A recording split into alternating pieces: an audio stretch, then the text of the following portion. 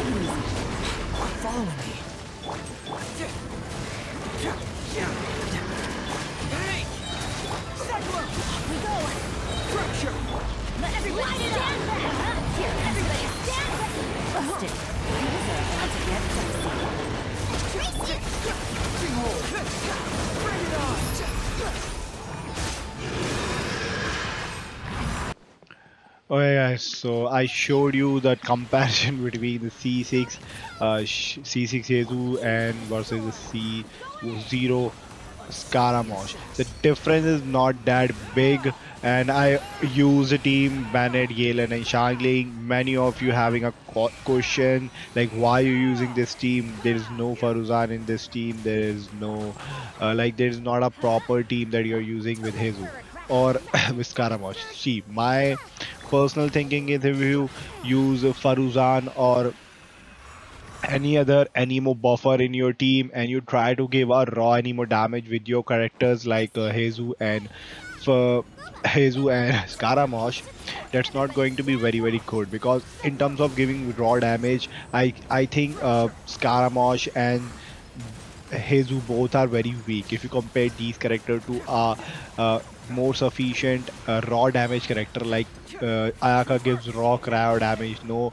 no reaction damage there. And Ayaka gives very huge amount of cryo damage. Same goes with Xiao. Xiao also gives a plenty plenty huge amount of uh, anemo damage raw anemo damages, no reaction required. So that's why i use this team. Like uh, from the uh, from the start I, I was thinking to use Heizou Bennett Faruzan and Xiangling and I tried that team but that team was not that not that not that good. And I tried same team with Scaramouche the output I'm getting I'm getting the numbers very high like my Scar Heizou uh, hitting 170k in one punch but that's not enough. After hitting 170k in one punch i have to wait for another 70 to 7 to 8 second to hit another punch. And in another punch i'm not sure that i'm uh, able to hit the same amount because of the crit uh, percentages. Like there is no confirmation that in every punch he's gonna crit. Same problem is going to happen with scaramouche. Scaramouche gives around 30 to 40000 uh, damage in one charge attack. That's not enough. Again that's not enough. That's why I use this team Bennett, Gale and Xiangling because I want some vaporize or reaction damage there. And yes I can also hit some amazing anemo damage also. Okay guys so that's it for the video.